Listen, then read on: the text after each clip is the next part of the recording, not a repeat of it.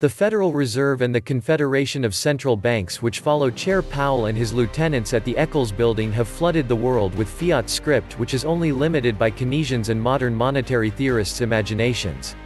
In this flurry of metaphorical printing, one country, Russia, has loaded its central bank balance sheet not with the speculation du jour, Bitcoin, but instead with the barbaric relic gold. Tellingly, Russia's stockpiling began in 2016, and on the eve of the president's departure from the White House, Vladimir Putin and Elvira Nabiullina, president of Russia's central bank, had more gold than US dollars stockpiled. Bloomberg reports, a multi-year drive to reduce exposure to U.S. assets has pushed the share of gold in Russia's $583 billion international reserves above dollars for the first time on record. It's no secret Mr. Putin initiated the strategy to de-dollarize Russia's economy. The yellow metal is now the second largest component of the central bank's reserves after euros, which make up a third of its reserves. Chinese yuan reserves make up 12%. Over two years ago Forbes compared the oil-producing state Texas to the oil-producing country. Even though Russia has nearly five times as many residents as Texas, the Lone Star State's economy is more than $400 billion larger.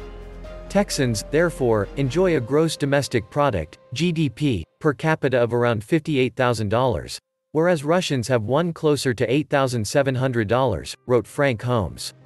In the same article, Holmes pointed out, the Russian Federation is the largest single producer of crude in the world, pumping out 10.95 million barrels per day, BPD, in January, according to the country's energy minister. Until there is an EV electric vehicle in every American garage, Russia is not to be taken lightly. Americans have benefited mightily by holding and trading with the world's reserve currency, though most people haven't given it a thought. No one remembers when the pound sterling held this distinction a hundred years ago. Reserve currencies are typically issued by developed, stable countries, Investopedia.com. Developed? If you insist. Stable? Not so much. Reserve currency issuing countries are not exposed to the same level of exchange rate risk, especially when it comes to commodities, which are often quoted and settled in dollars, Investopedia explains.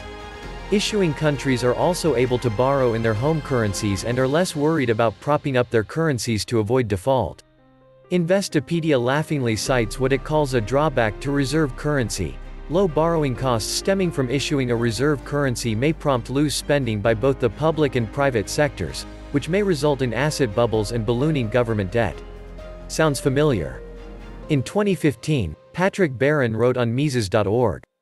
Because of this money printing philosophy, the dollar is very susceptible to losing its vaunted reserve currency position to the first major trading country that stops inflating its currency. There is evidence that China understands what is at stake. It has increased its gold holdings and has instituted controls to prevent gold from leaving China. Russia has joined China. Barron concluded, if we abolish, or even lessen, legal tender laws and allow the process of price discovery to reveal the best sound money, if we allow our US dollar to become the best money it can, a truly sound money, then the chances of our personal and collective prosperity are greatly enhanced. The Fed fiddles while the dollar burns. This was the Nomad Economist. Please like, share, leave me a comment, subscribe. And please take some time to subscribe to my backup channels, I do upload videos there too.